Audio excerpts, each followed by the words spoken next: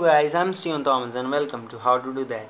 This is Windows 10 preview version. It is the latest version 49 which is the latest and it is Nokia Lumia 535 I mean the Microsoft Lumia 535 Today I'm gonna teach you how to take screenshot and this Microsoft Lumia 535 which has a Windows 10 preview just press the volume up button and the lock screen button together. Yes, and the photos will be saved automatically into this photos. We'll have to wait. Yes, here it is. Thanks for watching. Bye guys.